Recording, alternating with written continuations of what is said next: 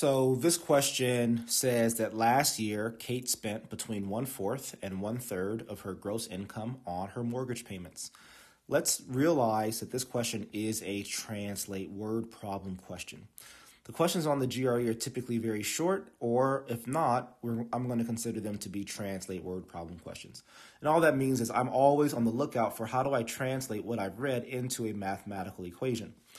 Um, and what we've read in this first sentence can be translated, right? So the one between one fourth and one third just tells me that her gross income is on a range of possibilities.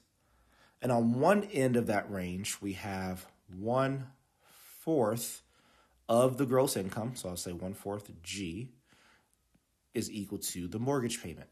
On the other side of that range, we have one third gross income is equal to the mortgage payment. The next sentence says if Kate spent $13,470 on her mortgage payments, so that means I now actually know what these M values are. It's actually 13,470, right? So 13,470. Which of the following could have been her gross income, right? So her gross income could be at one of these endpoints, or again, it could be somewhere in the middle.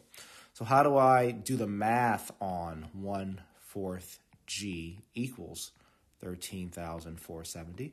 Well, I'm just isolating G, so I need to get rid of the 1 fourth by multiplying by 4 on both sides.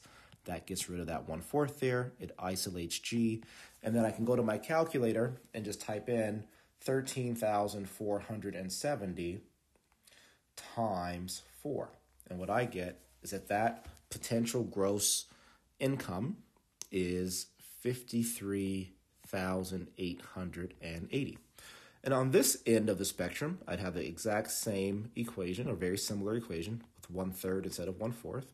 So one third G equals 13,470. And again, I'm multiplying by 3 on both sides now. So that 13,470 times 3 is equal to 40,410. So then the range here is really between $40,410 for her gross income on the low end up to $53,880 on the high end. So let's see what her her gross income could be. 40,200. No, that's too low, right? That's lower than the lowest possibility, so that's gone. 43,350. Yes, that's in range.